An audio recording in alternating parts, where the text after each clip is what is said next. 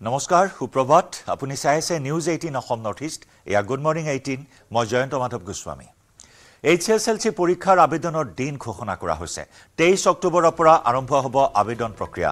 Online প্ৰক্ৰিয়াৰে চালান সংগ্ৰহৰ অন্তিম দিন পোন্ধৰ নৱেম্বৰ। বেংকত চালান সংগ্ৰহৰ অন্তিম তাৰিখ ওঠৰ নৱেম্বৰ। অনলাইনযোগে ভুল শুধৰণিৰ অন্তিম দিন ত্ৰিছ নৱেম্বৰ। অসম ৰাজ্যিক বিদ্যালয় শিক্ষা পৰিষদে জাৰি কৰিলে নিৰ্দেশনা। নিৰ্দিষ্ট সময়ত আবেদন কৰিলেহে বহিব পাৰিব পৰীক্ষাত। এইচ এছ এল চি পৰীক্ষাৰ আবেদনৰ দিন ঘোষণা কৰা হৈছে। তেইছ অক্টোবৰৰ পৰা আৰম্ভ হ'ব আবেদন প্ৰক্ৰিয়া। অনলাইন প্ৰক্ৰিয়াৰে চালান সংগ্ৰহৰ অন্তিম দিন পোন্ধৰ নৱেম্বৰ। আনহাতে বেংকত চালান সংগ্ৰহৰ অন্তিম দিন হৈছে ওঠৰ নৱেম্বৰ। অনলাইনযোগে ভুল শুধৰণিৰ অন্তিম দিন ত্ৰিছ নৱেম্বৰ। অসম ৰাজ্যিক বিদ্যালয় শিক্ষা পৰিষদে জাৰি কৰিলে এই নিৰ্দেশনা। নিৰ্দিষ্ট সময়ত আবেদন কৰিলেহে বহিব পাৰিব পৰীক্ষাত।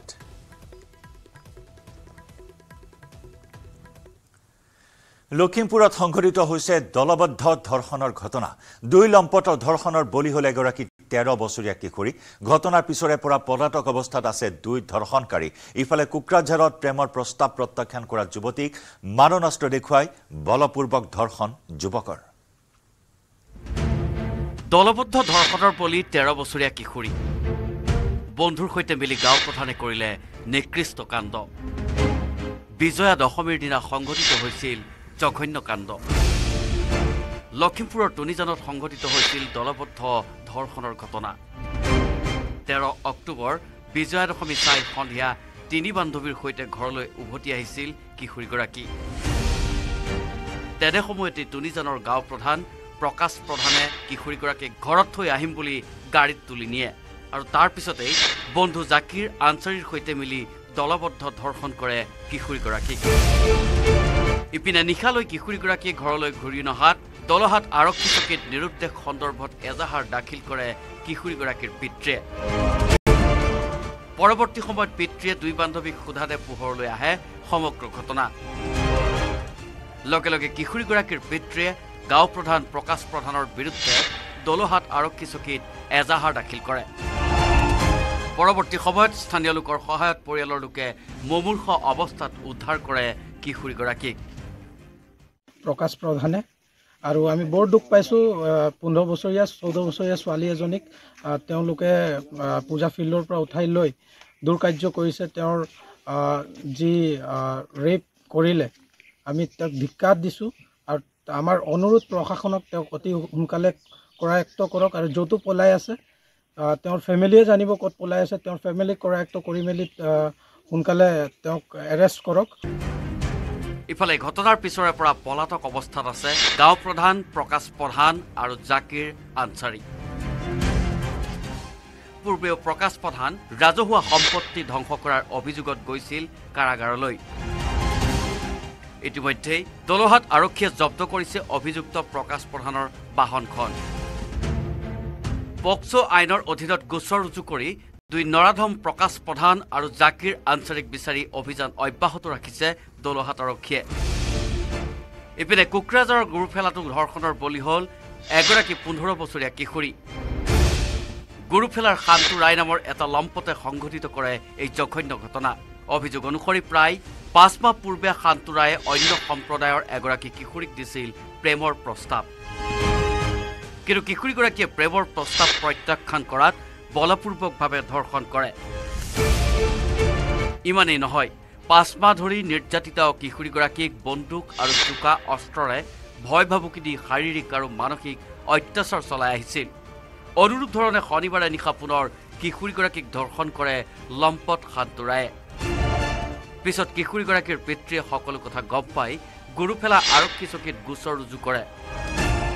ইতিমধ্যে গুৰুফেলা আৰক্ষীয়ে গ্ৰেপ্তাৰ কৰিছে লম্পট শান্তু ৰায়ক। লখিমপুৰৰ পৰা সঞ্জীৱ লাহন তামাৰহাটৰ পৰা শ্বহীদুল হকৰ report news eighteen Assam north east.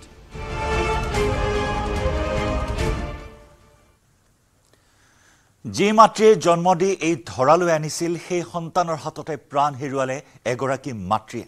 বোকাখাটৰ Sapjuri Rangali গাঁৱত দেওবাৰে নিশা সংঘটিত হোৱা নৃশংস ঘটনাই জোকাৰি গ'ল সমগ্ৰ ৰাজ্য।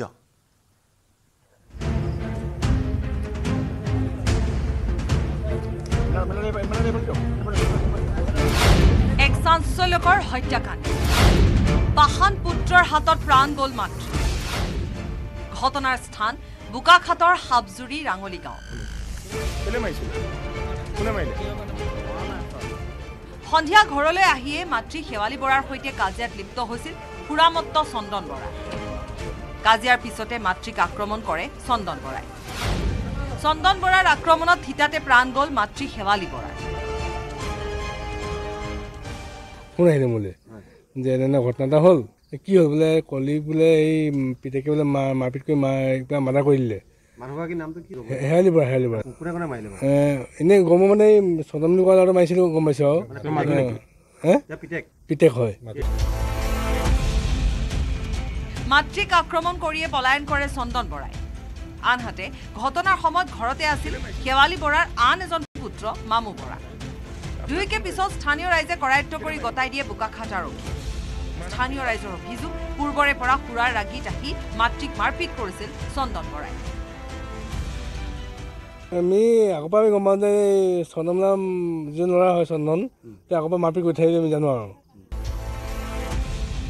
স্থানীয় ৰাইজে আৰক্ষীক খবৰ দিয়াত ঘৰটোৰ ভিতৰৰ পৰা দণ্ডাধীশৰ উপস্থিতিত মহিলাগৰাকীৰ মৃতদেহ উদ্ধাৰ কৰে বোকাখাট আৰক্ষীয়ে। কিন্তু কি কাৰণত হত্যাকাণ্ড সংঘটিত হ'ল সেয়া বৰ্তমানো ৰহস্যৰ আৱৰ্তত কিন্তু নিজৰ পুত্ৰৰ হাততে মহিলাগৰাকীয়ে প্ৰাণ হেৰুৱাবলগীয়া হোৱা ঘটনাই সমগ্ৰ অঞ্চলতে তীব্ৰ চাঞ্চল্যৰ সৃষ্টি কৰিছে। বোকাখাটৰ পৰা ধ্ৰুৱজ্যোতি ৰাজখোৱাৰ report news eighteen Assam north east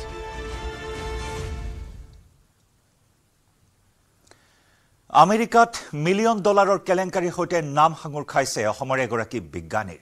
আমেৰিকাৰ তদন্তকাৰী সংস্থাই জাৰি কৰা বিবৃতিত কেলেংকাৰীত নাম সাঙুৰ খাইছে চি কুৱেষ্ট কেপিটেলৰ তদানীন্তন বিষয়া ত্ৰিদীপ গোস্বামী লগতে কেলেংকাৰীত চৰ্চালৈ আহিছে যোৰহাটৰ সেৱা নামৰ এটা এন জি অ'ৰ নাম। এন জি অ' সেৱাৰ সৈতে কি সম্পৰ্ক? চি কুৱেষ্টৰ চাওক আমাৰ এই বিশেষ প্ৰতিবেদন।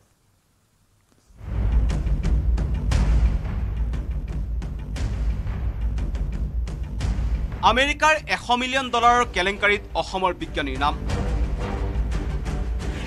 আমেৰিকাৰ তদন্তকাৰী সংস্থাৰ প্ৰতিবেদনত যোৰহাটৰ এটা এন জি অ'ৰ নাম। আমেৰিকাত সংঘটিত এশ মিলিয়ন ডলাৰৰ এক কেলেংকাৰীৰ সৈতে নাম সাঙুৰ খাইছে অসমৰ এগৰাকী বিজ্ঞানীৰ। শেহতীয়াকৈ আমেৰিকাত পোহৰলৈ অহা এক বিশাল বিত্তীয় কেলেংকাৰীৰ সৈতে অসমৰ নাম সাঙুৰ খাইছে।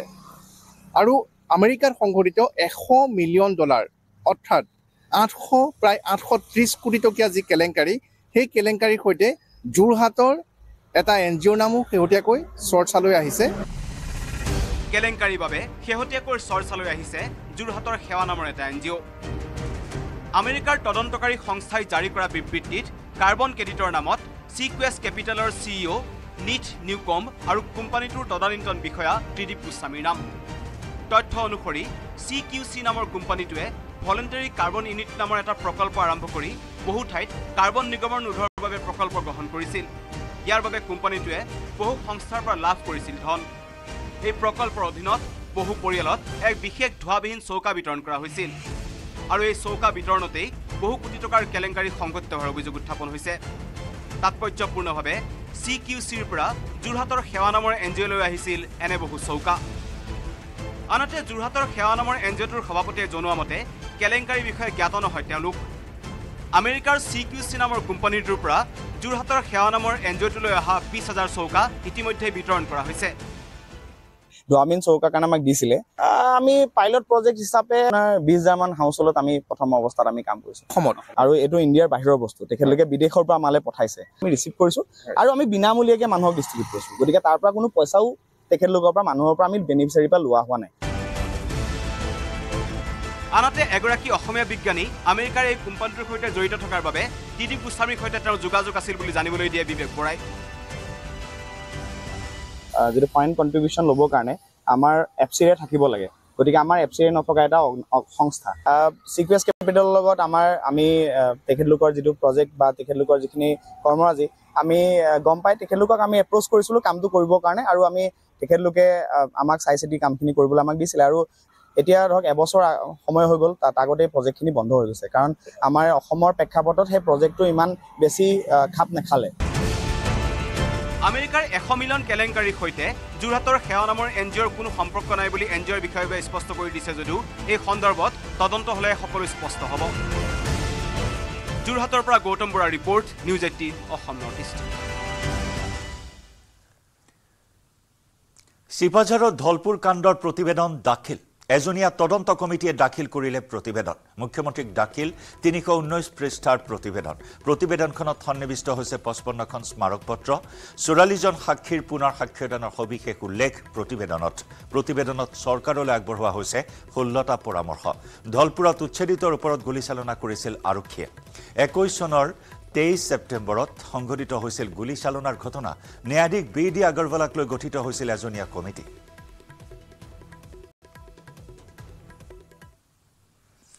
টিকট কেন্দ্ৰিক দলীয় তীব্ৰ অন্তকণ্ডলৰ অন্তত আঞ্চলিক দল অগপই সোমবাৰে এখন মাত্ৰ প্ৰেছ বিজ্ঞপ্তিৰ জৰিয়তে ঘোষণা কৰি থলে বঙাইগাঁও উপ নিৰ্বাচনৰ প্ৰাৰ্থীৰ নাম। টিকট কেন্দ্ৰিক খোৱা কামোৰাৰ অন্তত দলটোৱে দীপ্তিময় চৌধুৰীকে দিলে দলীয় টিকট। ইয়াৰ বিপৰীতে বিৰোধী কংগ্ৰেছে দেওবাৰে নিশা টিকট দিলে প্ৰাক্তন আই পি এছ বিষয়া ব্ৰজেনজিৎ সিনহাক। বঙাইগাঁৱত এ জি পিৰ বঙহৰ যুঁজ। বঙহৰ যুঁজৰ মাজতে টিকট দিলে দীপ্তিময়ক শৈলেন চৰকাৰ গোটৰ প্ৰস্থানৰ পিছতে ঘোষণা। টিকট কেন্দ্ৰিক আভ্যন্তৰীণ কণ্ডলৰ শেষত এ জি পিয়ে ঘোষণা কৰিলে বঙাইগাঁৱৰ উপ নিৰ্বাচনৰ প্ৰাৰ্থী। বঙাইগাঁৱত এ জি পিৰ প্ৰাৰ্থী হ'ল দীপ্তিময়ী চৌধুৰী। প্ৰাৰ্থীৰ নাম ঘোষণাৰ পিছতে দীপ্তিময়ী চৌধুৰীক জিলা কাৰ্যালয়ত এনেদৰে আদৰণি জনায়। জিলা কাৰ্যালয়ত উপস্থিত হৈ দীপ্তিময়ী চৌধুৰীয়ে অনাকাংক্ষিতভাৱে ৰাজনীতিলৈ আহি দলীয় প্ৰাৰ্থিত্ব লাভ কৰা বুলি দাবী কৰে।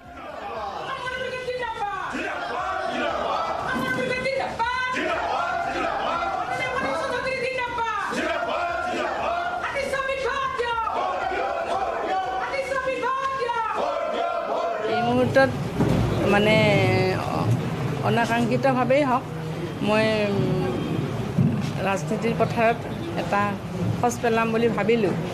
ভাবিলোঁ মানে মোক আচলতে সকলোৱে অনুৰোধ কৰাত মই আহি এটা খোজ দিলোঁহি। এটা ৰাইজৰ সহায় সহযোগিতা কামনা কৰিছোঁ সকলোৰে। উল্লেখযোগ্য যে দলৰ নিৰ্বাচন কমিটিয়ে দেওবাৰে নিশা এ জি পিৰ কেন্দ্ৰীয় নেতৃত্বৰ হাতত অৰ্পণ কৰিছিল সমষ্টিটোৰ প্ৰাৰ্থী নিৰ্বাচনৰ প্ৰতিবেদন। দলৰ কাৰ্যকৰী সভাপতি কেশৱ মহন্তৰ অধ্যক্ষতাত বিধানসভাৰ এ জি পিৰ বিধায়িনী কক্ষত দেওবাৰে নিশা চলিছিল এই প্ৰতিবেদনক লৈ আলোচনা। গতিকে মই ভাবোঁ যে এই সিদ্ধান্তৰ জৰিয়তে বঙাইগাঁও সমষ্টিত থকা তৃণমূল পৰ্যায়ৰ কৰ্মীসকলক সন্মান জনাই কেন্দ্ৰীয় সমিতিয়ে প্ৰাৰ্থিত্ব প্ৰদান কৰিছে। ইয়াত তাৰমানে অসম গণ পৰিষদে গণতন্ত্ৰ ৰক্ষা কৰিছে বুলি মই ক'ব বিচাৰিছোঁ।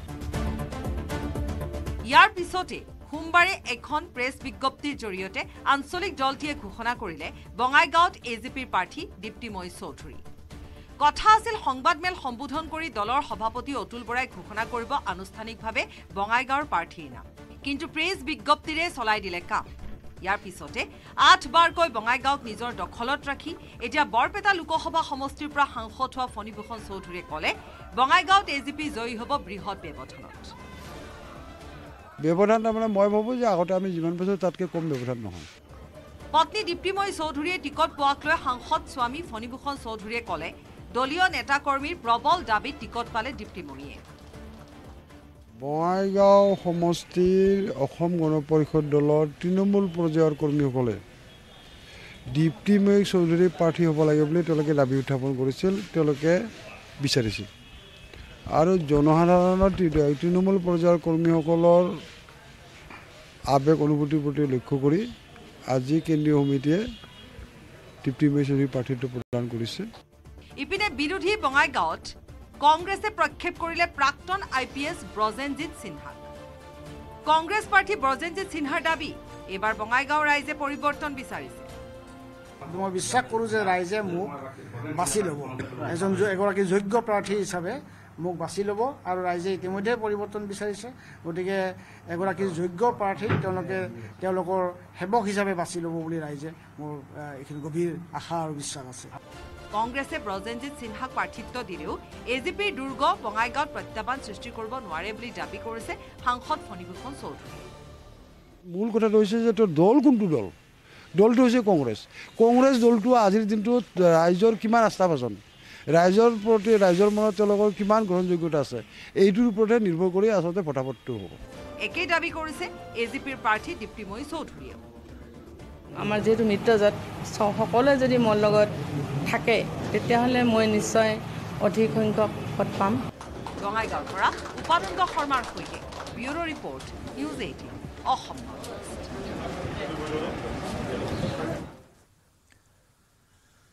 ইফালে এতিয়াও বিহালী সমষ্টিক লৈ অনিশ্চয়তাত বিৰোধী। বিহালীক লৈ দুই মেৰুত অৱস্থান ভূপেন বৰা আৰু গৌৰৱ গগৈ। এতিয়াও বিৰোধীয়ে ঘোষণা কৰা নাই বিহালী সমষ্টিৰ প্ৰাৰ্থীৰ নাম। ইফালে কাকো সন্মান কৰিব পৰা নাই কংগ্ৰেছৰ তত্বাৱধায়ক জিতেন্দ্ৰ সিঙেও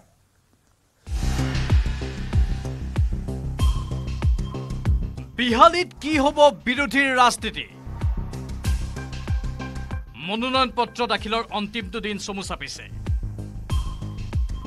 কিন্তু এতিয়াও বিহালী সমষ্টিক লৈ অনিশ্চয়তাত বিৰোধী। বিহালী বিধানসভা সমষ্টিত প্ৰাৰ্থিত্বক কেন্দ্ৰ কৰি তিনিটা ভাগত বিভক্ত হৈছে বিৰোধী। অসম সন্মিলিত মৰ্চাই বিচাৰিছে চি পি আই এম এলৰ প্ৰাৰ্থী। একাংশ কংগ্ৰেছীয়ে বিচাৰিছে কংগ্ৰেছৰ নিজা প্ৰাৰ্থী। আন একাংশ কংগ্ৰেছীয়ে বিচাৰিছে বিজেপি ত্যাগী জয়ন্ত বৰাক দিব লাগে টিকট। ৰাজনীতিৰ এনে মেৰ পেচত সোমাই পৰিছে বিহালী সমষ্টিটো। অনিশ্চয়তাৰ মাজতে ভূপেন কুমাৰ বৰাই কি কৈছে শুনক জয়ন্ত বৰা এজন সম্ভাৱনাপূৰ্ণ যুৱক তাত কোনো সন্দেহ নাই। তেখেতে এবাৰ ইলেকশ্যন খেলিছেও অকলে অকলে খেলি যথেষ্ট ভোট পাইছে। সেইকাৰণে কালি মই তেখেতক লগ পাই পেলাই কৈছোঁ যে আপোনাৰ যিটো পটেঞ্চিয়েল আছে সেইটো আমি অভাৱতে লোকচান হ'বলৈ দিব নালাগে। বিহালীক লৈ ভূপেন বৰা গৌৰৱ গগৈৰ মাজত আৰম্ভ হৈছে শীতল যুঁজ।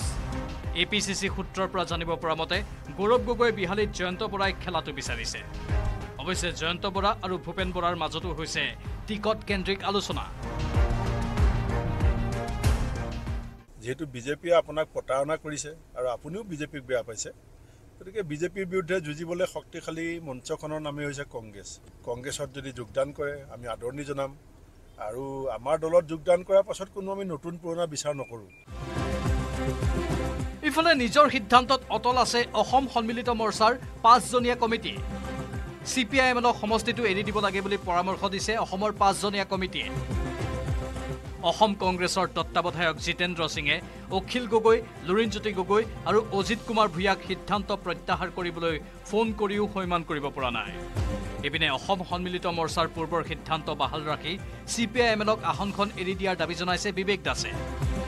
আনহাতে কংগ্ৰেছে যদি জয়ন্ত বৰাক বিহালী সমষ্টিৰ পৰা টিকট দিয়ে তেন্তে নিৰ্বাচনত জয়ী হোৱাৰ পিছত জয়ন্ত বৰাই পুনৰ বিজেপিত যোগদান কৰিব বুলি কটাক্ষ কৰে বিবেক দাসে। এনে পৰিস্থিতিত বিৰোধীৰ ঐক্য থাকিব নে নাই সেই প্ৰশ্ন তুলি বল এতিয়া কংগ্ৰেছৰ কোৰ্টত বুলি মন্তব্য কৰে বিবেক দাসে। বিহালীৰ চিটটো আজিৰ ভিতৰতে তেওঁলোকে ঘোষণা কৰিব লাগে। পঁচিছ তাৰিখ লাষ্ট ডেট হয় নহয়? আৰু এনেকে অলপ অনিশ্চয়তা থকাটো দিগদাৰ। বিৰোধী ঐক্য মঞ্চত থাকিব নে নাই এই গোটেই বলটো আছে কংগ্ৰেছৰ কোৰ্টত তেওঁলোকৰ ওপৰত নিৰ্ভৰ কৰিছে বিৰোধী ঐক্য থাকিব নে নাথাকে। বিশ্বনাথৰ পৰা তুষাৰ হাজৰিকাৰ সহযোগত বিপুল বৰ্মনৰ report news eighteen Assam north east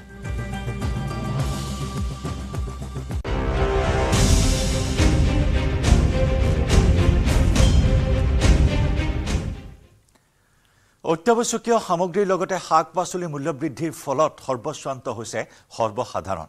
ৰাজ্য চৰকাৰ যোগান বিভাগ বিভাগীয় মন্ত্ৰীৰ অকৰ্মণ্যতাত নিয়ন্ত্ৰণহীন হৈ পৰিছে ৰাজ্যৰ বজাৰ। যাৰ যি ইচ্ছা তেনেকৈয়ে লৈছে দাম। গহপুৰৰ বজাৰতো নিয়ন্ত্ৰণহীন হৈ পৰিছে। দুদিনমান পূৰ্বে গহপুৰৰ দোকানে দোকানে মূল্যবৃদ্ধি নিয়ন্ত্ৰণৰ বাবে যোগান বিভাগৰ এটি দলে নিয়ম মাফিক টহল দিছিল যদিও সকলো ফুটুকাৰ ফেনত পৰিণত হ'ল।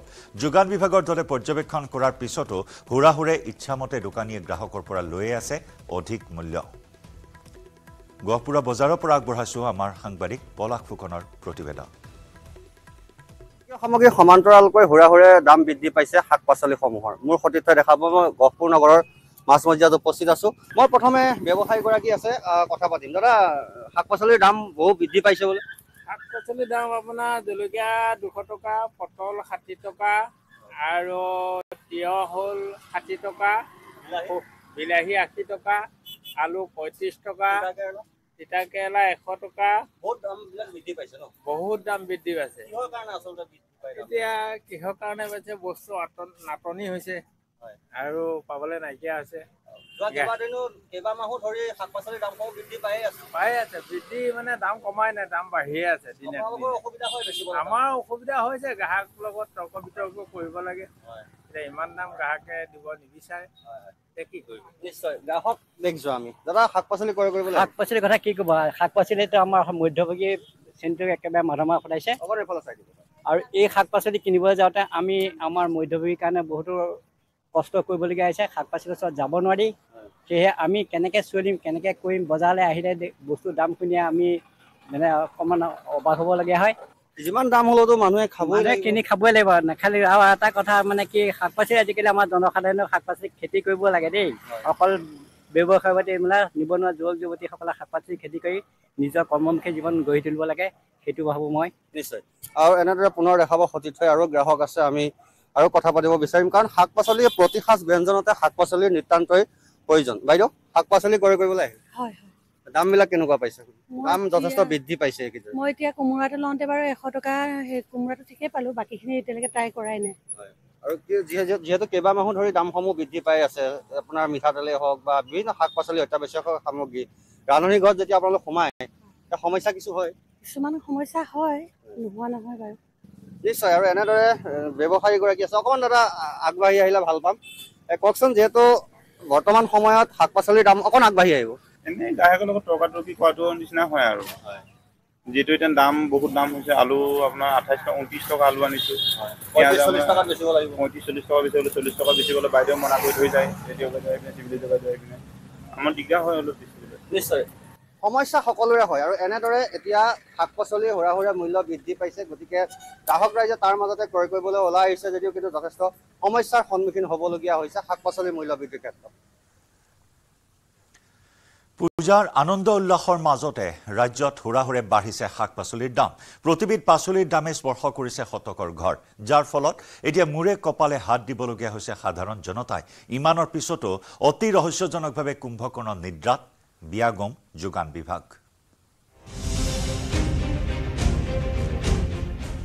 সুৰা সুৰে বাঢ়িছে শাক পাচলিৰ দাম। পাচলিৰ মূল্য বৃদ্ধিক লৈ অস্বস্তিত জনতা। কুম্ভকৰ্ণ নিদ্ৰাত ব্যাগম যোগান বিভাগ।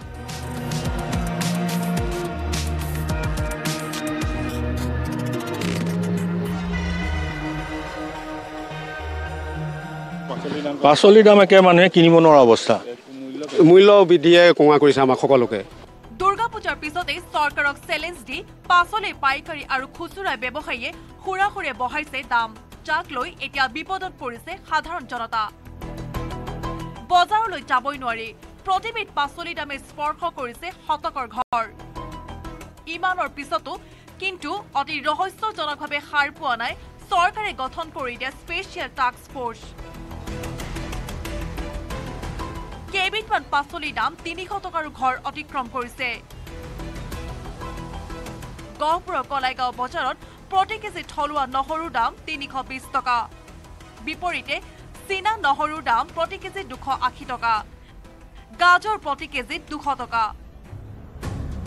বিন প্ৰতি কেজিত এশ ষাঠি টকা। উৰহী প্ৰতি কিলোত দুশ টকা। তেনেদৰে প্ৰতি কেজি বিলাহীৰ মূল্য হৈছে এশ বিশ টকা। ফুলকবি প্ৰতি কিলোত আশী টকা।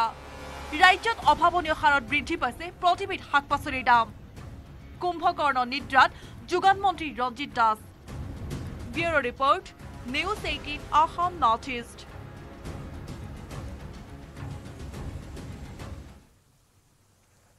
দুদিনীয়া সূচীৰে প্ৰধানমন্ত্ৰী মোদীৰ ৰাছিয়া ভ্ৰমণ। নতুন দিল্লীৰ পৰা ৰাছিয়াৰ কাজান অভিমুখে যাত্ৰা কৰিলে মোদীয়ে। বাইছ আৰু তেইছ অক্টোবৰত কাজানত অনুষ্ঠিত হৈছে ব্ৰিক্স সন্মিলন।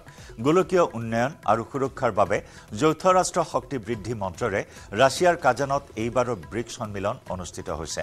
ব্ৰিক্স সন্মিলনত অৰ্থনৈতিক সহযোগিতা বৃদ্ধি ৰাষ্ট্ৰীয় মুদ্ৰাৰে বাণিজ্যৰ ব্যৱস্থা বহনক্ষম উন্নয়ন আদি বিষয়ৰো আলোচনা হ'ব। ব্ৰিটেইন ৰাছিয়া ভাৰত আৰু চীনৰ উমৈহতীয়া মঞ্চখনৰ ভাৰত অন্যতম প্ৰতিষ্ঠাপক দেশ। প্ৰধানমন্ত্ৰী মোদীয়ে ব্ৰিক্স সন্মিলনত ভাগ লোৱাৰ লগতে ব্ৰিক্স সদস্য ৰাষ্ট্ৰৰ নেতাৰে দ্বিপাক্ষিক বৈঠকতো মিলিত হ'ব। দুহেজাৰ চৌব্বিছত প্ৰধানমন্ত্ৰী মোদীৰ এয়া দ্বিতীয়টো ৰাছিয়া ভ্ৰমণ। ইয়াৰ পূৰ্বে বাইছ সংখ্যক ভাৰত ৰাছিয়া বাৰ্ষিক সন্মিলনত ভাগ ল'বলৈ এই বৰ্ষতে জুলাইত মোদীয়ে ৰাছিয়া ভ্ৰমণ কৰিছিল। সেই ভ্ৰমণতে মোদীক ৰাছিয়াৰ সৰ্বোচ্চ অসামৰিক সন্মান প্ৰদান কৰা হৈছিল।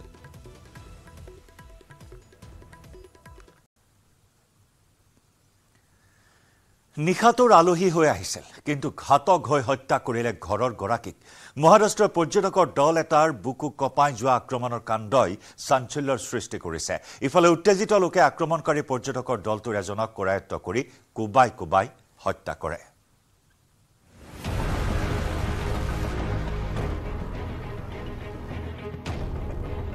ফুৰিবলৈ যোৱা পৰ্যটক নিশাটোৰ ভিতৰতে হৈ পৰিল ঘাতক।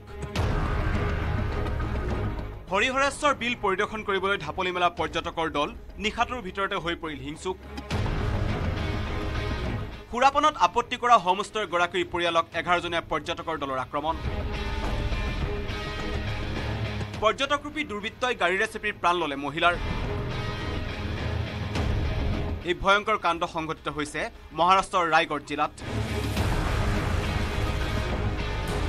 দেওবাৰে পুৱতি নিশা হৰিহৰেশ্বৰত সংঘটিত এই কাণ্ডই জোকাৰি গৈছে মহাৰাষ্ট্ৰৰ ৰায়গড় অঞ্চল। জানিব পৰা মতে কলেজীয়া ছাত্ৰকে ধৰি পুনেৰ এঘাৰজনীয়া পৰ্যটকে মদ্যপান কৰি নিশা ভাড়ালৈ বিচাৰিছিল এটা কোঠা। কিন্তু মদ্যপান কৰা পৰ্যটকৰ দলটোক নিশা চাৰে বাৰ বজাত কোঠা দিবলৈ অমান্তি হৈছিল হোমষ্টেৰ মালিক। তাকে লৈ হোমষ্টেৰ মালিকৰ সৈতে বাক বিতন্তত লিপ্ত হৈছিল পৰ্যটকৰ দলটো। হঠাৎ পৰ্যটকৰ দলটোৱে হোমষ্টেৰ মালিক অভিজিত ধনমাস্কৰক শাৰীৰিকভাৱে আক্ৰমণ কৰে। লগে লগে ধনমাস্কৰে এলাৰ্ম বজোৱাত স্থানীয় লোকসকল আহি গোট খোৱাত মাৰপিট কৰাৰ আশংকাত নিজৰ গাড়ীৰে তীব্ৰ বেগেৰে পলাই যায় পৰ্যটকৰ দলটো। কিন্তু পলায়নৰ সময়তেই গাড়ীৰ পৰা সেই স্থানত পৰি যায় দলটোৰ এজন যুৱক। স্থানীয় লোকসকলে যুৱকজনক আটক কৰি আৰক্ষীক খবৰ দিয়ে। এৰি যোৱা বন্দুক নিবলৈ মাজনিশা ডেৰ বজাত পুনৰ সেই স্থানলৈ আহে পৰ্যটকৰ দলটো। কিন্তু হোমষ্টেৰ গেটৰ সন্মুখত নিশাও গোট খাই আছিল স্থানীয় লোকসকল। সেই দৃশ্য দেখি পৰ্যটকৰ দলটোৱে তীব্ৰ বেগত বেকাবেকিকৈ গাড়ী চলাই হোমষ্টেত ৰান্ধনিৰ কাম কৰা অভিজিতৰ ভগ্নী জ্যোতি ধৰ্মাস্কৰক স্কৰ্পিঅ'ৰে খুন্দিয়াই যায়। লগে লগে মৃত্যু হয় আঠাইছ বছৰীয়া জ্যোতি ধৰ্মাস্কৰৰ পলায়নৰ সময়ত গাড়ীৰ পৰা পৰি যোৱা পৰ্যটকৰ দলটোৰ ইৰাপ্পা ধুটেক স্থানীয় লোকে গতাই দিয়ে আৰক্ষীক। ঘটনাৰ পিছতে আৰক্ষীয়ে কাৰিকৰী প্ৰমাণৰ সহায়ত অভিযান চলাই পুনেৰ পৰা গ্ৰেপ্তাৰ কৰিছে তিনিজনক। আৰক্ষীয়ে জিম্মাত লৈছে জমনাপ্ৰা ধুত্ৰে আকাশ গোবিন্দ আৰু বিকি প্ৰেম সিঙক বৰ্তমানো পলাতক হৈ আছে গাড়ীখন চলাই থকা মূল অভিযুক্ত উত্তেকাৰ। উত্তেকাৰক বিচাৰি উলিয়াবলৈ আৰক্ষীয়ে গঠন কৰিছে দুটা দল। ইতিমধ্যে আটকাধীন আটাইকেইজনকে আজি আদালতত হাজিৰ কৰোৱা হৈছে। Bureau' report news eighteen Assam north east.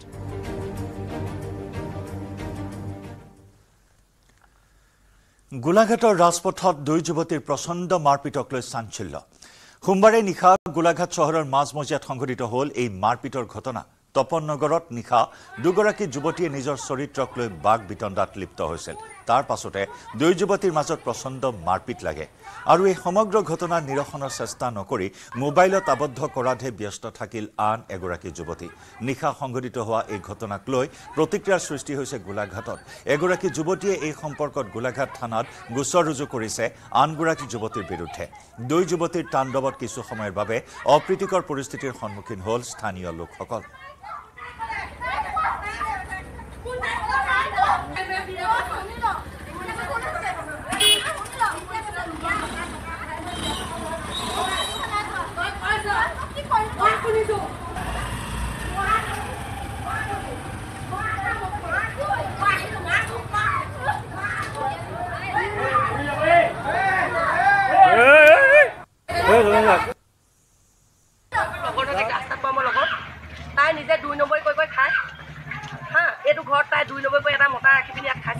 কি আই হ'ল নাজানো আমিতো নাজানো মই কোনো কথাই নাপাতো তাইৰ লগত তাই দুই নম্বৰ বুলি গোটেই গোলাঘাট টাউনে জানে। আমি সেইবোৰ নাজানো তাই মোৰ লগৰ দহজনীমানক তাই মেছেজ কৰি কৈছে মই বোলে দুই নম্বৰ তাই মেছেজ দিছে লেতেৰা লেতেৰা ভাষা লিখিছে হা তাত। তাই তাত লিখিছে মই বনৰী মই হেনো বনামি কৰি সোণৰ চেইন গাড়ী কিনিছোঁ। মই হেনো মূৰৰ পৰা ভৰি তলৈকে সোণ হয় মই পিন্ধিছোঁ মই কোটি টকা সোণ কিনিছোঁ। নগাঁৱৰ কচুৱাৰ দুই নম্বৰ ফাকলিত নিশা অগ্নিকাণ্ড। নিমিষতে ভস্মীভূত হ'ল এটা বাসগৃহ। আব্দুল কাছেম নামৰ লোকজনৰ ঘৰত জুই। বৈদ্যুতিক শ্বৰ্ট চাৰ্কিটৰ ফলতে অগ্নিকাণ্ডৰ সূত্ৰপাত। স্থানীয় লোক অগ্নি নিৰ্বাপক বাহিনীয়ে নিৰ্বাপন কৰে জুই। দুই লক্ষাধিক টকাৰ সা সম্পত্তি জুইত ভস্মীভূত হয়। এক বিধ্বংসী অগ্নিকাণ্ডৰ ঘটনা এয়া। নগাঁৱৰ কচুৱাৰ দুই নম্বৰ ফাকলিত নিশাৰ ভাগত এই অগ্নিকাণ্ডৰ ঘটনা। নিমিষতে ভস্মীভূত হ'ল এটা বাসগৃহ। আব্দুল কাছেম নামৰ লোকজনৰ ঘৰত লাগিল জুই। বৈদ্যুতিক শ্বৰ্ট চাৰ্কিটৰ ফলতে জুয়ে এনেদৰে ভয়ংকৰ ৰূপ ধাৰণ কৰে। স্থানীয় লোকৰ তৎপৰতাত অগ্নি নিৰ্বাপক বাহিনীয়ে জুই নিৰ্বাপন কৰিবলৈ সক্ষম হয়। প্ৰায় দুই লক্ষাধিক টকাৰ সা সম্পত্তি ভস্মীভূত হৈছে এই অগ্নিকাণ্ডত।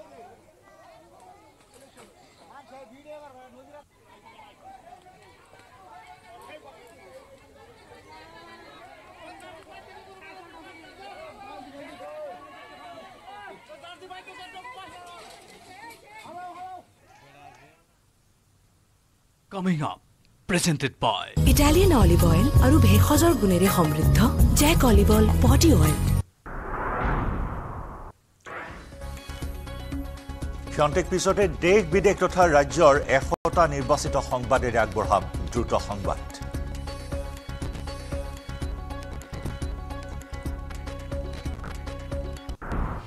Coming up, presented by Italian olive oil আৰু ভেষজৰ গুণেৰে সমৃদ্ধ জেক অলিভ অইল পটি অইল ইয়াৰ সৈতে সময় হ'ল। গুড মৰ্ণিং এইটিনৰ পৰা বিদায় লোৱাৰ। নমস্কাৰ।